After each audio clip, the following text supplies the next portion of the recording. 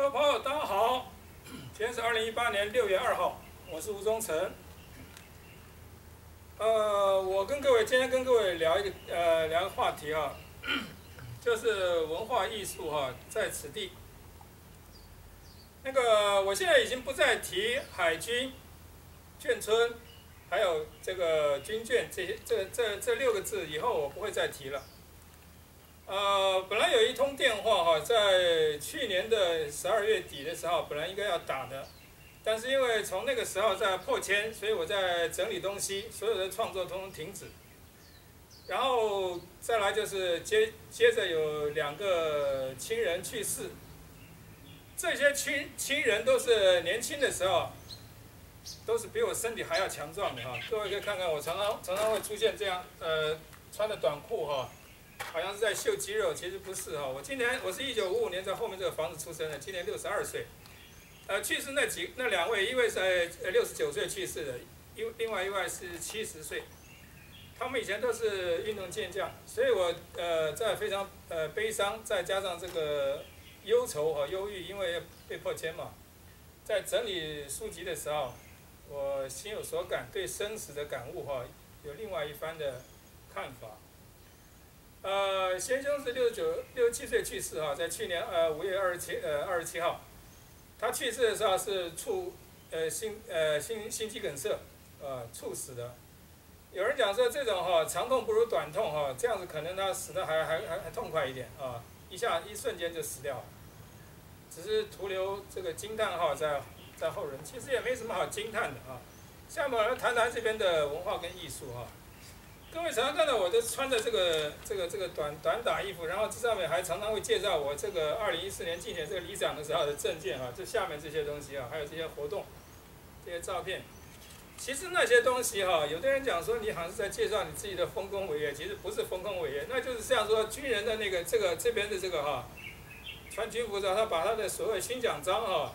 这种叫做资历章哈，以前有不是勋章就是奖章，要不然就是他的资历，曾经受过什么训练或者什么样子啊，也不够放着啊。这边兵籍号码上面还有还可以放，放少少数几个，比如说散章或者是挖人呃授信等等等或特殊授信，这边是他的资历哈。那我其实我我秀的这个哈，我的证件的这些这些活动本来要在这里推行的哈，啊这些活动其实就是我的资历章啊，我的经验。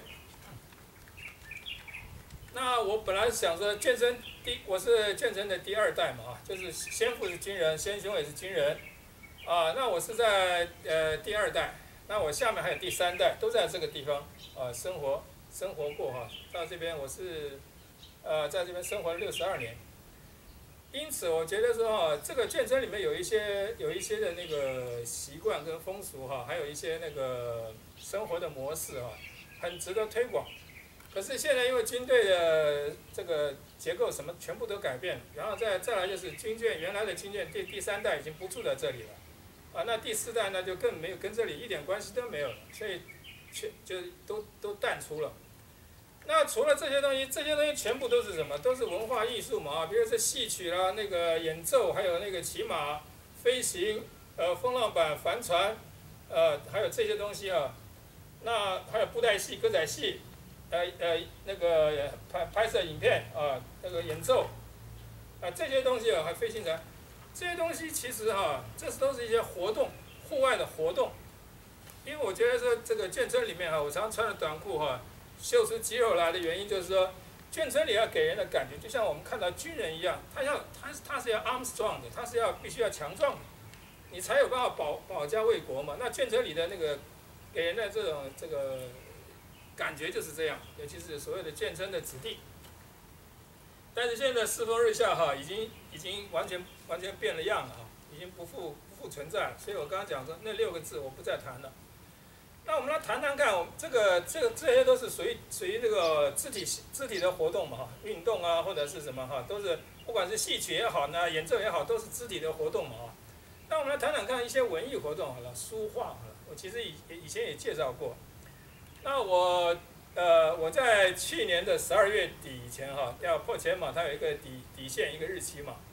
在那个之前，我在大概在一个一个多月前，我就停止所有的手头没有完成的呃作品或者创作或者是构想，因为你要打包很多东西哈，很花时间的，一面打包一面回忆一面哭泣啊，因为那些东西都是自己的心血。我雕塑没有完成的部分毁掉，木刻没有完成的毁掉，啊，那个已完成的搬不走的毁掉，啊，这就是有趣的地方哈。现在这边有一个。这边有一个艺术一堆艺术家进驻哈，我这个影片希望给他们一点点启示哈，你可以你可以看看。最后我们在我在搬离这里之前哈的一个月我就停止创作了，开始开始做大量的毁坏。那在这个之前，我早在早在五年前我就陆续的一直在做大量的纪录片，就是希望说保存这些的影像。那因为我很多人都知道我拍了很多的纪录片，因为我当时在四年前竞选这里里长的时候，我就拜访过很多海战英雄或真正做过战的英这些人，还有一些一些算是历史人物或者比较突出的，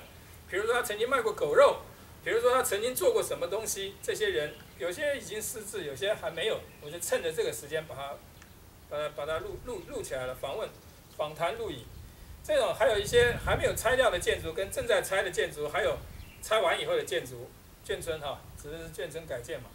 这些东西我有大量的影片，所以大家都知道，知道的人就有一些学生啊什么会来找我，所以希望我能提供。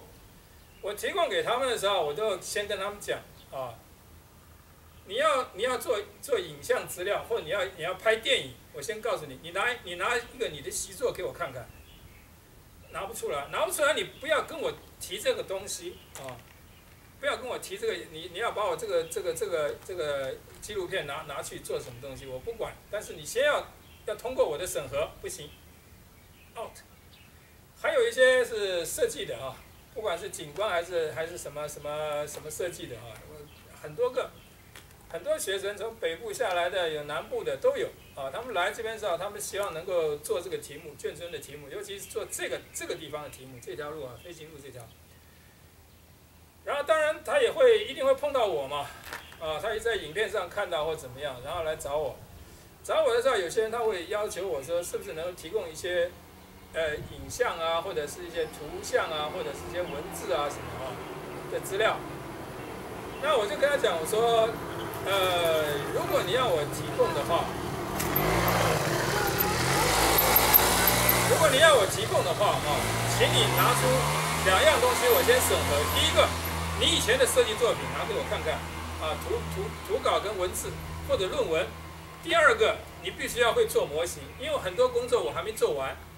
比如说，我要做这个这边的眷村的模型，啊，解说眷村以前是怎么样子，怎么样演变。啊，然后现它的格局是怎么样？这种民居是什么样子？还包括我家以前的建筑，这些这些大量的工作，我我都我都想要做，还没做。啊，呃，我能够用最快的速度哈，尽量做。还有包括我因为要搬不走的那些书啊，几万册的书，我通通都要把它拍成影片。啊，这这个这本书的书影哈，它是什么出版社，什么时候出的？然后里面我看了它有什么重要内容之后，因为这个书在图书馆应该都还有存底，所以我我。它录影完以后，我把它合起来之后，放在纸箱里面，拿当去当废纸卖掉。很多人说很很惋惜啊，说你那么多精彩的书，为什么要拿当废纸卖掉？不能捐到图书馆吗？我说不行，为什么？因为上面有我的眉注，还有我的插画。插画是有智慧财产的，眉注也有，而且再来就是我有很多是独到见见解，我不希望拿到我书的人轻易得到。就像我刚刚讲过，你轻易得到我的我的纪录片的话，你拿去要干什么？我不知道，能够干出来的东西可能也不是我满意的，所以我事先就筛选。如果你想要做景观或想做什么，你第一个你平面设计图要给我，文字要给我，还有你要有动手做的能力，做模型的能力。我个人啊，从事产品设计四十多年哈，我就有充分的这样的能力，有平面的能力，也有立体的能力。做手工模型的这个这个呃能力，那事实上我当时在选里长的时候哈，我就已经把先兄，先兄是民国五十六年参加国防部情报局第十六级情报局干训班干部训练班啊，就是所谓的正牌情报员嘛。他同期同学有很呃有有有两位是少将退役的啊处长，那那就。这这些我们就按下不表，因为他也他也会一些这些呃先母的遗这个遗传吧，啊喜喜好这个艺术吧，可是他一一辈子没有执行，而我正选里长就是正是要带带带起头来带这个眷眷村这些原住民，还有这个附近的人，啊其他县市也可以一起来玩，啊你你在余生里面你能做什么呢？吃喝拉撒睡之外，还有应该要玩乐嘛，玩一些有意义的嘛。我原来是要带大家来玩，那我也不惜的把先兄的录录影哈公开。有很多人讲说，以前我不在这边呃出面的时候，给给我们的印象就是先兄的样子嘛，一个一个邋遢老人嘛，然后身材猥琐嘛。可是他们不知道，先兄以前这个情报员训练，他的身体比我还强壮，啊。那后来他是怎么样？他是不是因为得了精神病之后才才变成这样子的？那个是未可考。那我们不提。但是我想说，你不管有病无病哈，只要你一息尚存，你都可以垂死病中惊坐起，要写要要写字，要画画，要雕刻，要要要要要雕塑，或者你要做什么都可以啊，做哪一门艺术都可以啊。你要做漫画，要你要做什么都可以啊。以先兄来讲，他做了很多。很多东西都是我像，比如说我做石膏，我做石膏模的时候，我用的铁网，剩下材料他拿起来做，他很喜欢废物利用。然后我我我做的呃其他的各种东西啊，像铁丝啊、铁线啊什么，他都把那些废废物还有的粘土，他都拿起来做。然后做完之后要跟我别苗头，因为他有精神病啊，他喜欢别苗头，但他也有一点才艺。但是我如无论如何呢，都是一种精神的一种所谓的家族治疗法。也就是团团体治疗法，如果各位对精神医学有有有了解的话，就是用艺术来来来治疗，不管是音乐、美术、雕塑，啊，呃，创作这些东西都是一种治疗的方式。我就说，我也不用跟他讲什么东西。先父是一个西医哈，做了一辈子医生，做了四十多年，他从来不讲什么理论的，就是做。你来我就给你看病，啊，他也也不会跟你讲这只有只有医术这几句而已，就告诉你要怎么样保养，怎么样哈，注意哪些事情。防止而已，他他也不会告诉你是什么原理什么的，不需要，啊，同样的，我们也是我带头做，啊，先生曾经做了一些一些造型哈，用铁丝做了一些造型，然后那个我有一个姐姐也很欣赏他，说啊，他这这个做的好像，说他天他天有天才有天分，那我认为说那个确实也不错了，如果说拿出来给一般人看也不错了。啊，做的鹤啊，做的马呀，做的什么玩意儿哈？很多东西都是铁丝做的，但那些铁丝都是我做我我我做做作品的时候的一些材料，啊，他拿起来用。结果后来我们我搬这边这边搬走之前哈，那我就把那些东西拿出来，我就跟他讲说，你要不要？要你就拿走。结果最后怎样呢？因为我们家东西太多，有三袋东西都在这里。大家想要保存的，以我来讲，我想保存的是先父的那些古董的那些医疗器材，那些医疗器材早就绝版了，呃，因为先父去世都二十年了，然后他行医有四十年，所以他我们这些有很多东西早都是绝版东西，而且越古老的东西先父越喜欢用，因为他有他有怀旧，啊，他以前读那个陆军军医学校的时候，那些东西啊，什么 Y 型的听诊器啦，还有那些手术用的东西啊，都是旧旧版的。那那些东西，我觉得才才有传家的价值，所以我留那些东西。最后那些铁丝做的那些造型的那些动物或者什么什么形象的东西，或者是呃雕塑什么东西，全部用脚踩扁以后当垃圾丢到门外去了，是这样处理的。仓皇辞庙，包括一万多书册的书籍也是这样处理的，啊。然后以前我珍藏很多的漫画，全部都淘汰，只留名家作品、经典作品，剩下的从。从而拿当废纸卖掉，啊，呃，花了很高的钱买了，然后最后当废纸卖掉，这就是搬迁，就是一个文化的毁灭。那我在竞选这个里长的时候，我曾经把我们家大门打开啊，红色大门贴着国旗那个打开，我里面有两张长的那个会议桌子，上面铺上军毯，然后呢，宣纸铺上这个各式的。各式大小的毛笔、画笔放那边，然后颜料放那边，墨放在这边。这墙上字是我写的嘛？啊，我写这个字的时候，我们当时的管区派出所的所长哈，他是警大毕业的，两县一星吧好像。那个时候选里长的时候有规定啊，所有的那个警察都要在这边，大概每每隔这个十五分钟就要来这边签到，就在门口签到，所要保护所有的候选人。那他他所有三个候选人，这个区域有三个候选人，他都都巡逻过嘛，他就觉得我这个我这个候选人非常特殊。第一个，我没有请一堆那个那些兵马俑，请一些残障的人在那边拉票，穿着背心什么的。我很简单，我大门打开之后，请大家到这边来玩玩书画，听听音乐啊，或者演奏一下音乐。我是玩这个东西，因为要文化艺术推推广是要推广这个，我的概念是这样。结果，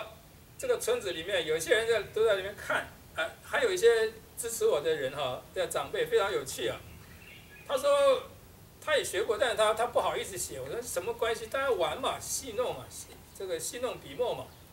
那结果他不要，结果他说他从他家里面搬了一大堆的宣纸，是他先生的。他先生以前呃没有生病以前或者生前留下来，他也喜欢老一辈人喜欢写毛笔字嘛，画画国画。他拿了一大堆白的宣空白宣纸拿给我说：“这个你拿来当习作用吧。”哎，我我我的宣纸也是多到好好几箱子啊，画不完，因为每天事情很多。啊，结果只有那个所所长哈，那个我们派出所所长，他一时寄养来签到的时候，他说：“吴先生你很有趣哈，这个写的很好。”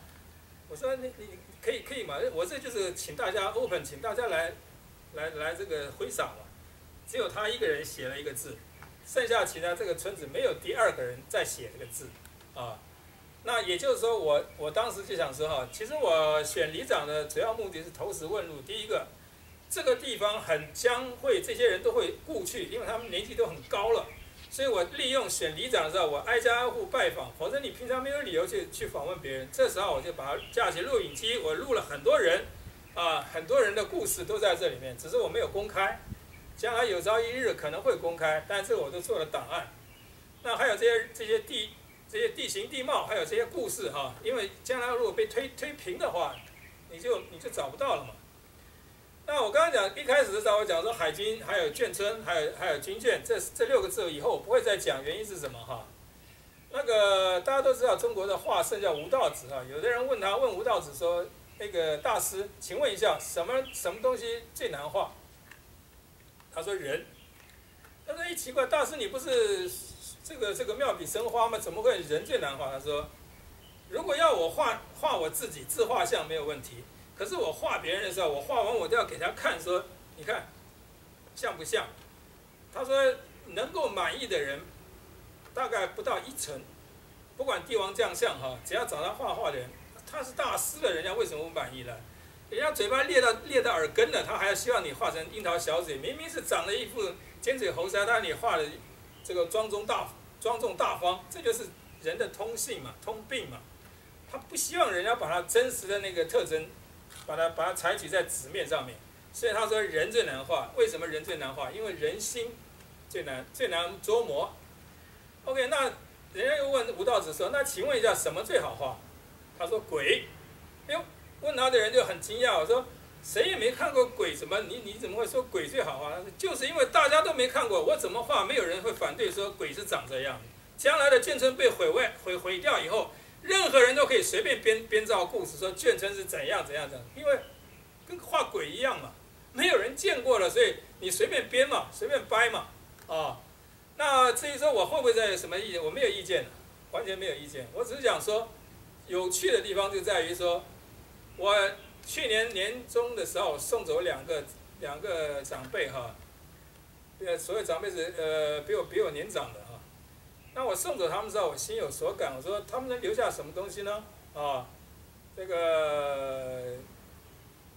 有一位的他的遗物几乎全部都毁掉，啊，只有一一个弓，一个一个一把猎弓啊，美国制的猎弓。我跟他讲说，这个猎弓可以。你这个猎弓可以可以可以，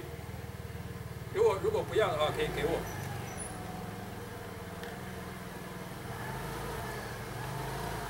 那呃，另外就是先兄有很多很多东西哈，我只有我给他保留了一些他的一些书画这些东西，其他没有人保留，大都所有的衣服、身外之物、衣服什么全部烧掉，啊，全部毁掉。所以我们无人能够在有生之年能够留存什么东西啊，都可以自己决定。这也是所谓的文化积淀的问题哈。你要能够想保留什么东西，啊，自己都可以做决定。而我看到很多的很多的这些所谓艺术家哈，像我像我这边我我的木雕的作品啊被批，我把它批掉，因为未未完成吧。我能带走的就是一些图稿，还有一些呃设计的这个创意，这些东西都是纸面上的东西，容易容易移动的，我带走了。那事实上，呃。后面屋子是空的，没什么好偷的，该偷的全部偷光了，啊，那能够带走的我都带走，啊，包括先父的一些古董的这个医疗器材，啊，也就是我们一家三代的遗迹全部腾空，啊，点交，啊，这就是现在的这个眷村文化艺术的概况，啊，我曾经选里长的时候，开启大门请大家来进来挥洒，只有。所长有留留有留留下墨宝，剩下没有，那其他他已经调走了啊。然后那个其他的那些李明们就送我的纸，啊，那我说这些其实我我不太需要，因为我自己很多啊。那其他就没有了。那另外一个我刚刚讲说，我要求说来这边的学生说你要提作品啊，不管是你的那个平面手绘能力，还有你的文字叙述能力，第三个就是做模型的能力。立体的能力、造型能力，这三个如果你没有能没有通过我的考核，我根本不会提供任何资料给你。为什么？我自己就会动手做，我挂的这个就是我自己做的。然后，当时在这个地方的时候，我就我我一直在想所谓的所谓的这个海军海军概念。我说我在这边出生长大，从小就接触到海军的这个军人，啊，先父也是海军的，三十年服役。那我在想说，我们从小看到，还有先兄以前也是海事学校毕业的，那这些经验，还有邻居这些，我们这个离海港很近，夏天还可以闻到海风咸咸味，这样子的一个环境里面，我们当然是知道说，所谓所谓这个海军概念啊，海军概念是什么？什么？如果要我们要设计海军的这个这跟海事有关的东西的概念，那当然是在这里了，当然这边是最佳的这个场域啊。那我就想说哈。因为我自己有帆船风浪板的教练跟裁判证啊，我受过这训练。那原来要推广这项运动，没有人推广，因为我今年六十二岁，我算最年轻的哈。那其他的七十八岁的在每天在数要玩过日子的人，不可能去玩这些东西啊。他们的弟弟，他们下一代也都不在这里了，所以这整个情形都不一样。外界的人也不了解这里面，来这边来此一游的都是小偷。啊，拿不管拿的炮筒、摄摄影机、录影机，甚至于拿的空拍机什么，九成都是小偷。你不是想偷点东西，就是想偷点影像，那有意义吗？一点意义都没有，就跟画鬼一样啊。那结果我我就想到一个东西啊，我其实我的 idea 没有完成，还没有做的 idea 非常的多。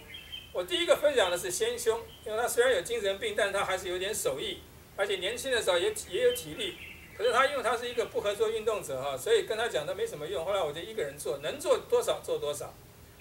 我第一次我跟他讲，我说你既然有打磨的经验的话，我们来做风浪板、冲浪板。冲浪板大家都知道啊，夏威夷那个冲浪板是用手工做的啊，完全纯纯手工的，从那个 PU PU 的 foam 开始削。这些做模型的人哈，像像我这种人，就做这东西来讲，都是都是都是小菜一碟。然后你要怎么样？mirror image 镜像哈，然后做什么？然后这每一个风冲浪板都是一个手工做的，而且都可以这个这个 by order，也就是量身定做。然后还有就是它上面的花纹，还有它的形式，统统都可以自己设计，因为它是 FRP 的嘛，它是一个玻璃纤维那 coating 的嘛，最后打磨，然后这个还有这些图像的设计，graphic design 这些东西都都是一个很好的这个很。很完整的一个东西，而且最后你可以做出来的东西还可以自己用，啊，那我当时就想，我就想要在这边做一个无中层造船厂，啊，大家在海军服役的人大家都知道吧？这个在四十年前这边有一个第一造船厂，海军有以前有五个五个造船厂，明第一造船厂、第二、第三、第四、第五啊，那其实那个名曰造船厂 ship shipyard，但是实际上它不是，它不能造船。如果能造船的话，我们就不用跟国别国买，不用成立一个中船公司，也不会有这个所谓造这个造舰的那个弊案嘛。所以就就表示这个只是修船而已嘛。而我现在是造一造一造一条船出来，所有的所有的那个船是 boat 啊，就是冲浪板就是风浪板也是，风浪板更大了，那个就很难做。那些都不是用模具做的，全部是用手工啊，全部是用手工做的。那我原来就想在这边做，然后另外我还要推广一个，就叫所谓的 workshop，就是工作工作营。这边的腹地很大，这边的树荫很多。我们在任何一个树荫底下，我们就可以招招一批这个呃年轻人，或者呃或者是整家的都可以。在树荫底下，我们两天就可以做一条船出来，你就就是你自己拿走。当时我有很多的计划，但是没这边没有人可以做，只有我一个人，只有吴忠成我一个人想要做这些东西，而且有能力做这些东西，而且也曾经做过，在别的地方做过，在这里没有做过，所以这个地方有很多东西是没有办法没有办法发芽，也没办法生根的的东西，因为整个来讲，眷村已经死了。就死在这一代里面，也就死在这个 this moment 啊，呃，刚才我又碰到一个新住户，我跟他聊，我说这个地方叫做文化园区哈，它不是海军眷村文化园区。那他说不是不是，呃，这是海军的，我说这海军概念通通通通拿掉，那不是了。我刚才已经讲过嘛，鬼可以画，任何人都可以画，因为没有人会说它像不像，因为没有人看过。看过鬼的人，他他不讲话，啊，因此哈，我语重心长的今天想要录一下说，文化艺术在此间，啊，通通都是有图为证，啊，有实力可行，啊，虽然都已经搬走了，不在这里，啊，那先生在生前的时候曾经讲过哈，他说他一辈子为国家，啊，尽忠。然后以以身相许哈，他说他死的时候，他这一辈子要要保护这个这个家，啊，他在去年的五月二十七号死了。